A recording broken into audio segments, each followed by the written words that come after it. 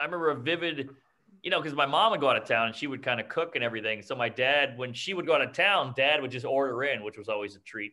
You know, we get Chinese food or KFC or something. But I remember uh, one time we were at breakfast and my mom was out of town and he poured granola and he goes, "Do we have any milk?" And I said, "Ah, we were out of milk." And he just poured grape juice in it and ate it. And I was like, "Oh, Jesus. he doesn't fuck around." Christ. That's either you're broke as shit or you're a 13 year old who's like never can't make food without your mom. Like you have Yeah, no idea how to pothead. operate. Yeah, yeah. Right. no idea how to exist. No, I see that as like you're in the army and you're trying to get out, and you're like, I don't know, I got to make them think I'm crazy. I, I, I mean, I mean, oatmeal with grape juice. I'm going, I, I'm, I'm on the edge, you know. Yes, yes. It, it was definitely Dad's house. He also wore a robe with nothing under it.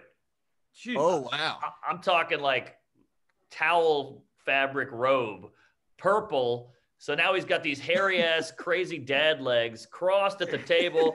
The doorbell rings. He gets up. Everything flops out. He's got Oh, these crazy no. balls like a like an old Doberman. Holy shit. it was wild. The first sighting of maybe this is a little bit personal of me, but the first sighting of your dad's dick is really that's shocking. Shocking, terrifying, huge, huge. Yeah, yeah. dark. yeah, the and the darkness too. You're like, oh, is that my future? Yes. The crazy pubes. He never shaved a pube. And he would No. also wear a t shirt with no underwear. So I'm like, you were so Oh. close. Just the, the ugliest look that there is on a man. Yes. T-shirt yes. showing off the balls.